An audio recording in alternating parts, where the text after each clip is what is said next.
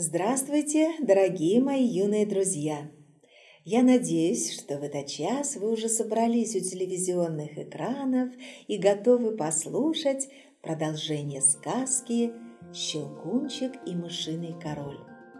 Если это так, то я начинаю читать. Дроссельмейер быстро подсел к кровати и сказал «Не сердись, что я не выцарапал мышиному королю все четырнадцать глаз сразу.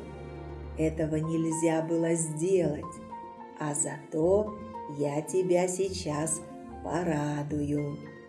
С этими словами старший советник суда полез в карман и осторожно вытащил оттуда щелкунчика – которому он очень искусно вставил выпавшие зубки и вправил больную челюсть. Мари вскрикнула от радости, а мать сказала, улыбаясь. «Вот видишь, как заботится крестный о твоем щелкунчике. А все-таки сознайся, Мари!» – перебил крестный госпожу Штальбаум.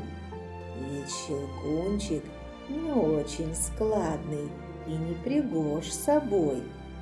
Если тебе хочется послушать, я охотно расскажу, как такое уродство появилось в его семье и стало там наследственным.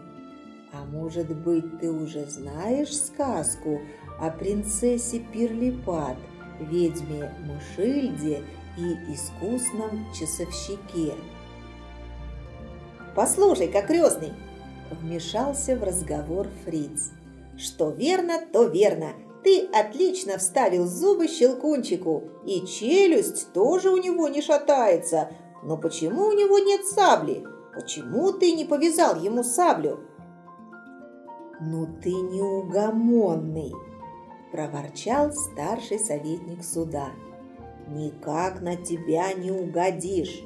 Сабля щелкунчика меня не касается. Я вылечил его, а саблю пусть он сам себе раздобывает, где хочет. «Правильно!» – воскликнул Фриц. «Если он храбрый малый, то раздобудет себе оружие».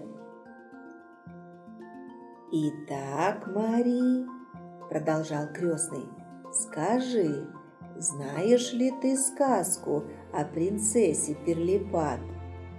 Ах, нет, ответила Мари. Расскажи, милый крестный, расскажи. Надеюсь, дорогой господин Дроссельмейер, сказала мама, что на этот раз вы расскажете не такую страшную сказку, как обычно. «Ну, конечно, дорогая госпожа Штальбаум», – ответил Дроссельмейер, – «напротив, то, что я буду иметь честь изложить вам, очень занятно». «Ах, расскажи, расскажи, милый крестный!» – закричали дети, и старший советник суда начал так. Сказка о твердом орехе. Мать Перлипат была супругой короля, а значит королевой. А Перлипат, как родилась, так в тот же миг и стала прирожденной принцессой. Король налюбоваться не мог на почивавшую в колыбельке красавицу-дочурку. Он громко радовался, танцевал, прыгал на одной ножке и то и дело кричал. «Хейза, видел ли кто-нибудь девочку прекраснее моей Перлипатхен?» И все министры, генералы, советники и штаб-офицеры прыгали на одной ножке, как их отец и повелитель, и хором громко отвечали. «Нет, никто не видел!» Да, По правде говоря, и нельзя было отрицать, что с тех пор, как стоит мир, не появлялось еще на свет младенца прекраснее принцессы Перлипат. Личико у нее было словно соткано из лилейно-белого и нежно-розового шелка. Глазки – живая сияющая лазурь, а особенно украшали ее волосики, вившиеся золотыми колечками. При этом Перлипатхин родилась с двумя рядами беленьких, как жемчуг, зубок, которыми одна два часа спустя после рождения впилась в палец рейхсканцлера, когда он пожелал поближе исследовать черты ее лица.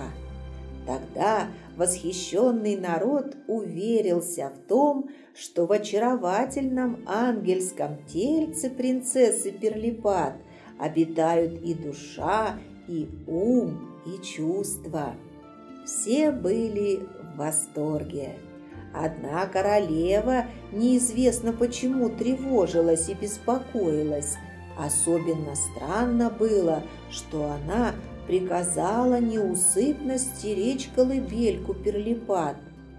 Мало того, что у дверей стояли драбанты, было отдано распоряжение, чтобы в детской, кроме двух нянюшек, постоянно сидевших у самой колыбельки, еженочно дежурило еще шесть нянек, и что казалось совсем нелепым и чего никто не мог понять, каждой няньке приказано было держать на коленях кота и всю ночь гладить его, чтобы он, не переставая, мурлыкал.